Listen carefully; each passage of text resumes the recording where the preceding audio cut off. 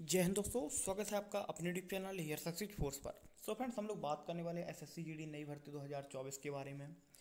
सबसे पहले मुझे एक तरीके से पूरी उम्मीद है कि अभी तक आपने कम से कम दो तीन सौ वीडियो देख लिए होंगे आपके रिज़ल्ट के ऊपर और अपनी कट ऑफ़ के ऊपर। अब आप कहेंगे, अपना भी वीडियो जोड़ लीजिए, अगर डेढ़ सौ देखें तो एक सौ इक्यावन अपना भी कर लीजिए। अब देखिए, मैं आपको बता देता हूँ कि मैं कुछ इस सेंस में वीडियो नहीं बना रहा हूँ कि दिन में कम से कम बीस वीडियो अपलोड करने हैं और वो आपको दिखाने हैं। आप ही की तरह मैं भी एक स्टूडेंट्स हूँ, जो कि अपनी एक तैयारी में समय भी देता हूँ और आपकी तरह एस एस का एग्ज़ाम भी देता हूँ। आपने अगर एस एस का एग्ज़ाम दिया है तो मैंने भी भाई अपना एग्ज़ाम दिया है। तो मुझे भी पढ़ना होता है कि भाई अपने एग्ज़ाम के लिए। तो उसी हिसाब से मैं भी अपनी वीडियो बनाता हूँ। क्यों? मुझे भर्ती के ऊपर जब कम से कम आठ दस वीडियो बनाने में कोई इंटरेस्ट रहता नहीं। मैं ज़्यादा से ज़्यादा दो से तीन वीडियो किसी भी वैकेंसी के ऊपर बनाता हूँ। उससे ज़्यादा मैं वीडियो बनाता नहीं हूँ। एक टाइम पर। जैसे अभी क्या है कि अभी जो सीन चल रहा है लड़कों को पता है कि भाई कम से कम वो दिन में अपना जो चौबीस में से कम से कम पंद्रह सोलह घंटे का जो समय है वो कट ऑफ़ को लेकर और रिज़ल्ट ग्रेड को लेकर और एक नॉर्मलाइजेशन को लेकर देखने में अच्छा व्यतीत कर रहे हैं। तो दिन में कम से कम सात आठ वीडियो डालिए, उसको बच्चा देखेगा अच्छा खासा व्यूज़ भी आएगा। लेकिन मेरा ऐसा सीन है नहीं तो आपको पता ही कि मैं भी तैयारी भाई, आप ही तरह करता हूँ तो इतना समय भी नहीं है। पढ़ाता भी हूँ, आपको पता है कि भाई मैं कोचिंग में भी पढ़ाता हूँ ऑफलाइन भी पढ़ाता हूँ, और भी काम है। लेकिन आज थोड़ा मजाकिया अंदाज में यहाँ पर हम लोग बात करेंगे कट ऑफ़ के ऊपर कि भाई कट ऑफ़ क्या रह सकती है और रिज़ल्ट की जो डेट है वो आपकी क्या रहेगी। बहुत जल्द आपके सामने बाय कैमरा भी आऊँगा बाई फ़ोटो भी आऊँगा, कहाँ पे पढ़ाता हूँ, क्या करता हूँ आपको वो दिखाऊँगा लाइब्रेरी क्या सारी बातें किसी अगले वीडियो में करूँगा। तो आप लोग कमेंट ज़रूर करना कि आपको ऑफलाइन कोचिंग देखनी है कि नहीं देखनी है, ज़रूर बताना।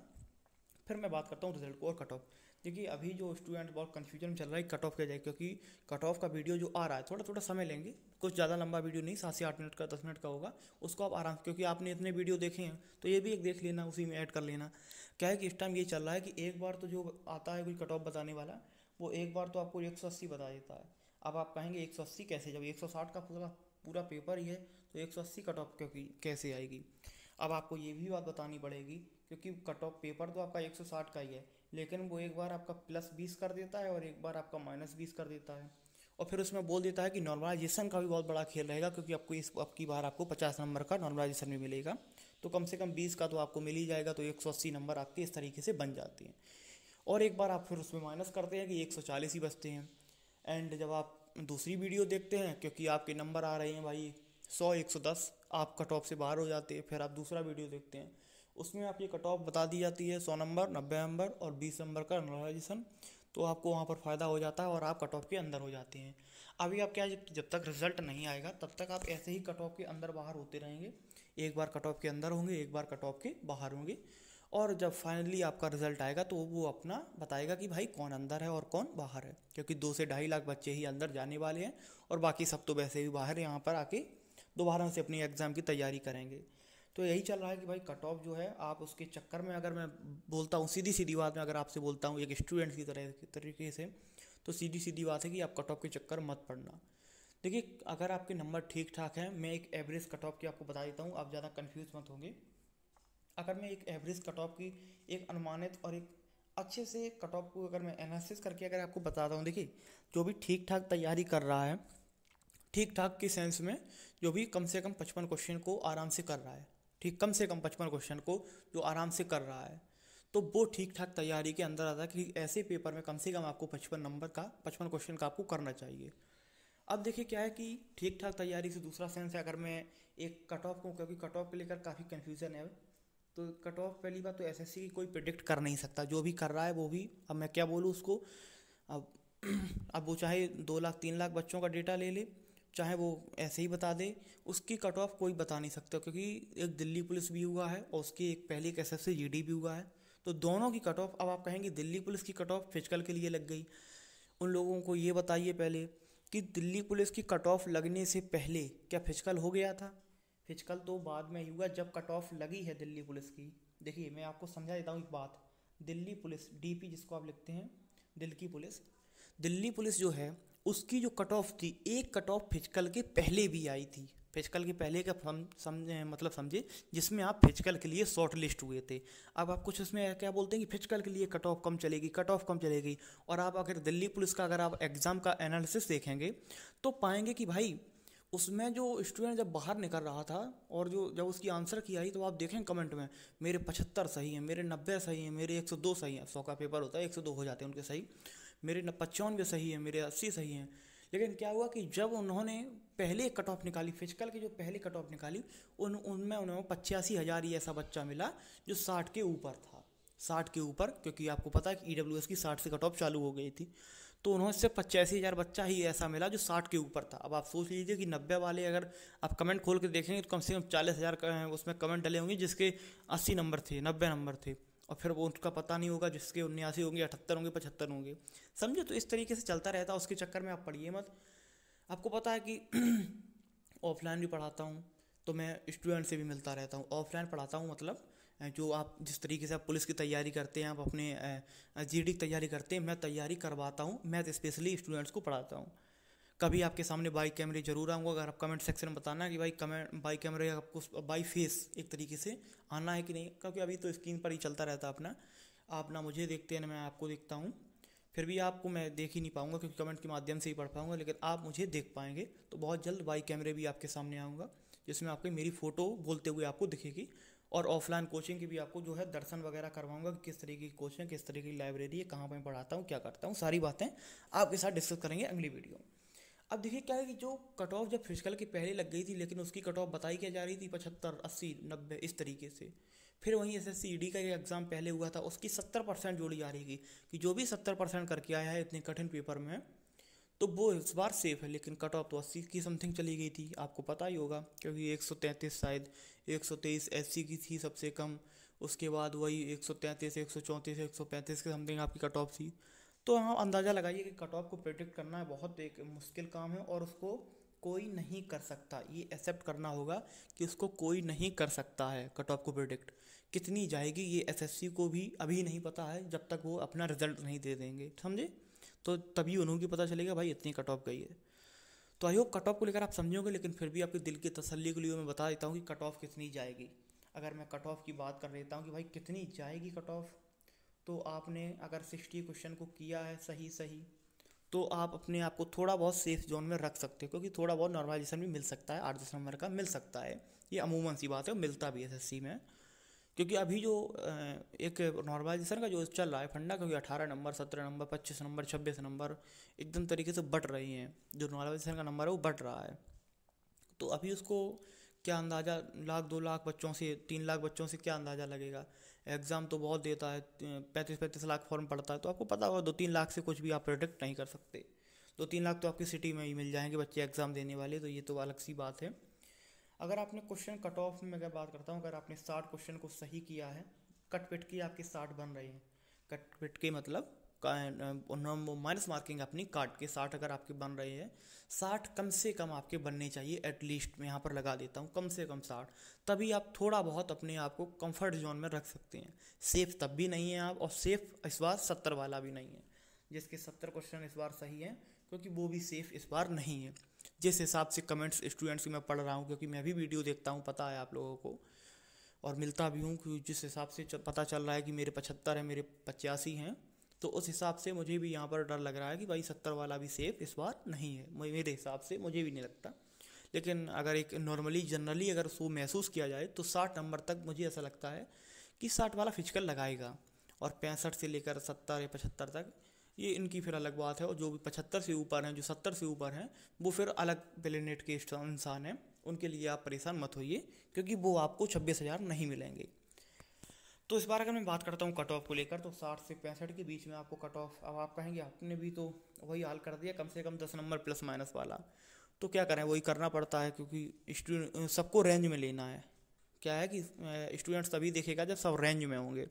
तो स्टूडेंट को रेंज में लेना है, अगर मैं सीरियसली बात करता हूँ तो साठ के ऊपर रहनी चाहिए। साठ से नीचे का कम, बहुत कम चांस है कि जिसकी भी पचपन छप्पन है वो मतलब चांस से बाहर ही तरीके से है तो साठ से कम वाले के चांसेस नहीं है, जो साठ से ऊपर है, उन्हीं के चांसेस यहाँ से स्टार्ट होंगे। स्टार्ट होंगे चांसेस ये नहीं कि यहीं से रहेगा। साठ से स्टार्ट होने चांसेस स्टार्ट हो जाएँगे। इस तरीके का मेरा एक अनुमान है। रिज़ल्ट की बात करता हूँ तो ये जो दिल्ली पुलिस का है, आपके सामने एक स्क्रीन तो दिल्ली पुलिस का क्या था कि ये बहुत जल्दी जल्दी हुआ था। जल्दी जल्दी सेंस मतलब थोड़े दिनों में फ़िज़िकल थोड़े दिनों में रिज़ल्ट और थोड़े दिनों में आपकी ज्वाइनिंग और वही इस, इस बार एस एस की भर्ती में भी आपको देखने को मिलने वाला है कि बहुत जल्दी जल्दी आपको यहाँ पर भी देखने को मिलेगा. क्योंकि एक अगस्त में भर्ती लगी हुई है और उससे पहले ये कंप्लीट करनी पड़ेगी भर्ती. ठीक है तो उसी हिसाब से अगर मैं दिल्ली पुलिस की बात करता हूँ ये अभी जो आप देख रहे हैं इसकी एग्ज़ाम की जो लास्ट डेट थी वो थी आपकी कब? तीन बारह दो हज़ार तेईस. यानी कि समथिंग समथिंग आपका दिसंबर. और रिज़ल्ट आपका अनाउंस हो गया था इकतीस को. तकरीबन आपके अट्ठाईस दिन बाद आपका रिज़ल्ट जो है वो आपका अनाउंस हो गया था. नहीं अट्ठाईस दिन कम से कम फिर भी लग गए। जब इतनी जल्दी दिल्ली पुलिस ने मचाई थी इतनी जल्दी मचाई थी फ़िज़िकल का भी टाइम नहीं दिया था तब भी अट्ठाईस दिन लग गए थे। अब चलिए मैं बात कर लेता हूँ एस एस की जो 2021 से सिलसिला शुरू होगा। क्योंकि okay, आप कहेंगे दिल्ली पुलिस की क्यों बता रहे हैं? जी बताइए। देखिए जी डी में अगर मैं बताता हूँ 2021 वाली भर्ती की तो इसकी जो एग्ज़ाम की लास्ट डेट थी वो पंद्रह बारह थी। और इसका जो रिज़ल्ट अनाउंस हुआ था वो बहुत घुमाना पड़ा थोड़ी कम घुमाते हैं। आपका जो एग्ज़ाम की लास्ट डेट थी वो पंद्रह दिसंबर थी और आपका जो रिज़ल्ट आया था वो पच्चीस मार्च को आया था। यानी तकरीबन तकरीबन आपका पूरा जनवरी, फरवरी, पूरा मार्च भी चला गया। तकरीबन एक तरीके से तीन महीने से भी ऊपर का समय यहाँ पर लग गया था। तीन महीने तो लगते हैं। अगर जब ज़्यादा डिले होगा, बहुत आराम से काम होगा, बहुत जल्दी होगा तो अट्ठाईस दिन लगेंगे। बहुत जल्दी होगा तब अट्ठाईस दिन, बहुत कम लगेंगे तब तीस दिन। ठीक है? अब मैं चलता हूँ आगे। ये बात कर लेता हूँ 2022 वाली भर्ती की, जो 2023 में हुई थी। अगर मैं इसके बात करता हूँ एग्ज़ाम की तो इसका जनवरी और फरवरी में एग्ज़ाम कंडक्ट हुआ था। इसका भी फरवरी, जनवरी और फरवरी में हुआ था। और इसका जो आपका रिज़ल्ट आया था रिज़ल्ट अगर मैं बात करता हूँ तो तीस आपका जून में रिज़ल्ट आया तीस जून को आपका रिज़ल्ट आया था। यानी कि जनवरी से लेकर फरवरी में आपका एग्ज़ाम ख़त्म हुआ था तो मार्च, अप्रैल, मई, जून, यानी कि यहाँ पर भी आपके तीन से ऊपर महीने लग गए थे, यानी तकरीबन साढ़े तीन महीने यहाँ पर भी आपका समय लग गया था। तो तीन, साढ़े तीन महीने का समय लगता है जब बहुत आराम से भर्ती होती है और बहुत जल्दी होती है, तब अट्ठाईस दिन का भी समय लगता है। तो उसी हिसाब से मैं यहाँ पर बात करने वाला हूँ कि इस बार ये भर्ती भी आपको जल्दी देखने को मिलेगी, यानी भर्ती बहुत जल्दी जल्दी आपकी कराई जाएगी। जल्दी जल्दी का सेंस है भाई तो देखिए, आपका जो एग्ज़ाम की जो लास्ट डेट थी वो तीस मार्च थी। अब आप कहेंगे एग्ज़ाम तो फरवरी में ख़त्म हो गया, दिमाग ख़राब है। दिमाग ख़राब इस वजह से क्योंकि आपका री एग्ज़ाम भी कंडक्ट हुआ था, इसी वजह से आंसर की डिले हुई और आपका भाई एग्ज़ाम की लास्ट डेट भी तीस ही मानी जाएगी कि एग्ज़ाम आपका तीस मार्च को हुआ। तीस मार्च को आपका एग्ज़ाम हुआ, आंसर किया ही आपने। आंसर की देखी कट ऑफ़ का बहुत हुआ, हल्ला हुआ कि भाई 140 नंबर 150 180 नंबर, ये किस तरीके से कट ऑफ़ जाएगी? आप लोगों ने भी डेढ़ दो सौ वीडियो देख लिए हैं कट ऑफ़ के ऊपर, लेकिन अभी तक मतलब का वीडियो आपको भी नहीं मिला है। इसी वजह से अभी आप और वीडियो देख रहे हैं। हम बात करते हैं रिज़ल्ट के बारे में। तो रिज़ल्ट जो है भाई आपका स्पेशली, अब रिज़ल्ट की बात अगर करते हैं तो रिज़ल्ट कम से कम यहाँ पर भी एक महीने का समय लगेगा, क्योंकि इतनी जल्दी भी नहीं है। आप, आपका जो रिज़ल्ट है, वो तीस मार्च को आपका ख़त्म हुआ तो पूरा अप्रैल तो जाएगा, पूरा अप्रैल जाएगा। इसके बाद मई, जून, जुलाई, अगस्त, चार महीने, उनके पास तीन चार महीने में वो सब कुछ करा देंगे, क्योंकि ज़्यादा बच्चा है नहीं, दो ढाई लाख उनको सिलेक्ट करना है और उसके बाद जब ज्वाइनिंग दे देनी है। वही है कि भाई, ये अप्रैल पूरा जाएगा और मैं अगर रिज़ल्ट की एक्सपेक्टेड डेट में मानता हूँ, रिज़ल्ट की एक एक्सपेक्टेड डेट अगर मैं मानता हूँ तो पाँच मई को मानता हूँ कि पाँच मई तक रिज़ल्ट आ जाना चाहिए। मैंने कुछ ऐसे ही सोच लिया, कुछ मेरे पास सूत्रों से खबर नहीं आई है कि इसको आ जाना चाहिए। लेकिन मैं मानता हूँ कि जल्दी होगी भर्ती ये, और जल्दी होगी तो उसमें आपका फिर जल्दी जल्दी होगा अभी तो एक महीने का कम से कम, क्योंकि दिल्ली पुलिस में जब इतनी जल्दी मचाई थी, तब भी अट्ठाईस दिन का समय ले लिया था। तो यहाँ पर भी अगर इतनी जल्दी ये मचाते हैं तो पाँच मई तक आपका रिज़ल्ट जो है वो आपका अनाउंस कर देंगे। पाँच मई हो गया, फिर आपका वही टाइम मिलेगा, दस बीस दिन का मिलेगा भी कि नहीं मिलेगा, ये भी पता नहीं है। इस वजह से अगर आपकी साठ के ऊपर बन रही हैं तो चुप्पा रोड पर पहुँच जाइए और उससे अपना रेस अब चुपचाप या चुप्पा आप पहुँच जाइए, एकदम अपना रेस स्टार्ट कर दीजिए, जिससे कि आपको अपने उस टाइम पे प्रॉब्लम ना हो। मुझे भी स्टार्ट करनी है। किसी नेक्स्ट वीडियो में अपना स्कोर कार्ड भी आपके साथ शेयर करूँगा कि मेरा स्कोर कितना रहा है और कितना नॉर्मलाइजेशन भी दिखा रहा है। सब तरीके से विदाउट नॉर्मलाइजेशन नॉर्मलाइजेशन कितने, किस सब्जेक्ट में मेरे नंबर हैं तो वो अपनी अगली वीडियो में अगर आप कमेंट करके पूछेंगे तो मैं ज़रूर आपसे साथ शेयर करूँगा। और ऑफलाइन कोचिंग का जैसे मैंने आपसे कहा है कि ऑफलाइन कोचिंग भी अगर आपको देखनी है, कहाँ पढ़ाता हूँ, क्या करता हूँ तो वो भी आपको दिख जाएगा और बाई कैमरे मैं भी आपके सामने बहुत जल्द आने वाला हूँ। क्योंकि अभी मेरे पास उतना अच्छा कैमरा है नहीं या मेरे पास उतना अच्छा मोबाइल नहीं है जिससे मैं वीडियो शूट कर पाऊँ तो शॉर्ट वीडियो या लॉन्ग वीडियो के माध्यम से आपको सामने आपको दिख जाऊँगा, कुछ पहचानने वाले भी मिलेंगे और कुछ अनजान भी मिलेंगे। तो आपको जल्दी दिखूँगा, लेकिन कमेंट करके ज़रूर बताना कि आपको ये वीडियो किस तरीके की लगी, जिसमें अगर मैं रिज़ल्ट की बात करता हूँ तो मैंने आपको बता दिया कि पाँच मई तक आपको रिज़ल्ट देखने को मिल सकता है और पाँच महीने तो पंद्रह मई तक आपको, क्योंकि प्लस माइनस वाला सीन हम भी आप यहाँ पर जारी रखेंगे, जिससे आपको कुछ ऐसा ना लगे कि ये वीडियो आपकी अलग है। तो पाँच से लेकर पंद्रह मई तक आपका रिज़ल्ट अनाउंस होने की पूरी पूरी संभावना है। तो आप अपने रिज़ल्ट अपने रनिंग में लग जाइए। और कट ऑफ़ का तो वही सीन है कि भाई कट ऑफ़ कितनी जाएगी। तो कट ऑफ़ की अगर मैं बात करता हूँ तो आपके साठ के ऊपर अगर बन रही है, बासठ, तिरसठ, पैंसठ तो आप लग जाइए और अपनी फ़िज़िकल की तैयारी जारी रखिए। पैंसठ तक अगर आप कहेंगे कि भाई सत्तर तक होगा तो देखिए कट ऑफ़ आप फ़िज़िकल एक बार मार के आइए। साठ, बासठ पर भी फ़िज़िकल आपको देने को मौका मिल सकता है। तिरसठ, पैंसठ पर। निकल सेफ़ भाई सत्तर वाला भी नहीं है। मैंने आपको ये भी बोल दिया। आप कहेंगे कि आपके सत्तर से ऊपर होंगे तो मेरे भी नहीं है। मैं आपको यहाँ पर सीन बता दे रहा हूँ। तो उसी हिसाब से आप कम से कम लग जाइए। अगर आपके सत्तर के ऊपर हैं तो आप पूरी तरीके से लग जाइए कि भाई आप तो फिर बहुत अच्छे से अंदर होने वाले हैं। इस बार आपको अच्छी पोस्ट भी मिलेगी। लेकिन जो सत्तर से नीचे हैं, साठ के ऊपर हैं, वो इस बार लग जाइए अपने फ़िज़िकल के लिए कि फ़िज़िकल आपको भी देने का मौका मिल सकता है मेरे हिसाब से। तो आपको फ़िज़िकल को देने का मौका मिलेगा। अगर आपके साठ प्लस साठ अगर आपके बन रहे हैं, साठ काट पीट के, तब भी आप फ़िज़िकल की तैयारी करते रहिए। मिलते हैं आपसे अगली वीडियो में, तब तक के लिए जय हिंद, जय भारत।